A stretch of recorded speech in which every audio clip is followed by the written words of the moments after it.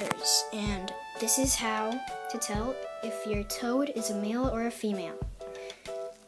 I have two Fowler's toads here, and then I have in here two cane toads I'm going to show you. These are both males, and I'll show you how I know that. And then my cane toads are females. So, the way you tell if they are a male is simple. Them in a position where you can see their necks. So, you can tell that this guy is a male because he has a black neck right there, as you can see. And um, the females just have the same color as their belly, so it's probably just gonna be all white or all cream. These guys have a black or brown neck for when they croak, their mating calls. I'm gonna show you another example with this little guy. So, here's him. Again, black neck or gray neck. Right there. So yeah, right here I have two males.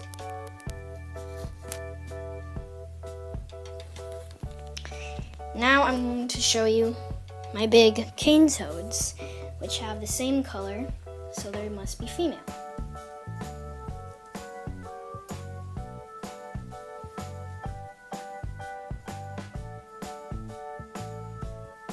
So I have to open this big container up. So I'm just gonna put these guys in their log right here so they can hang out.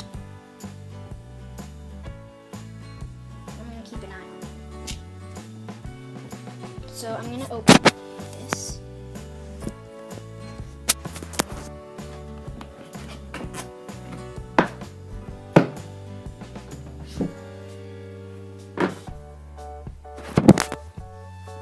Okay. Here's my cane toad's habitat. And they're both in here.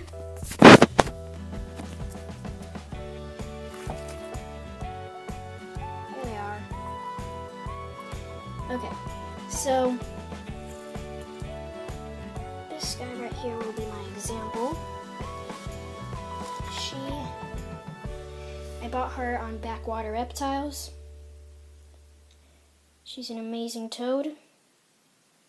Very big, as you can see. They are actually the second biggest frog slash toad in the world, besides the Goliath frog. So pretty much the biggest toad.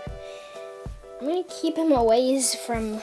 I'm gonna keep her away from my little Fowler's toads, so uh, she doesn't try to eat them. That would be bad. Okay. Come here, girl.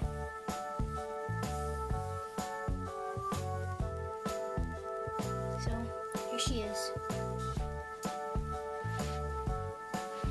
I'm gonna try to get a view of her neck.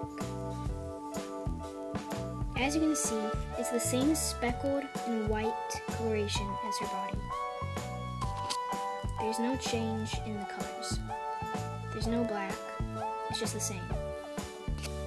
So that's how you can tell. So I'm gonna put her back in there. And I'm gonna put their uh, little house. Sorry, I know you don't really like this cage, but it's all I got. These guys are selfish. But I love them.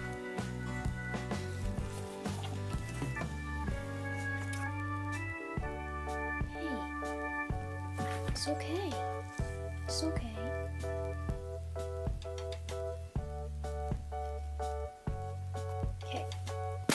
So back to my little guys, little Fowler's toads.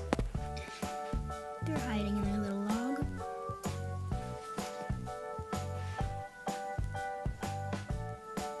So yeah, that's how to tell the difference between male and female toads. A quick summary. Females have the same color on their neck and their stomach. So, let's say they have a cream neck and a cream stomach, or a speckled neck and a speckled stomach, or a gray neck and a gray stomach. Same color, right?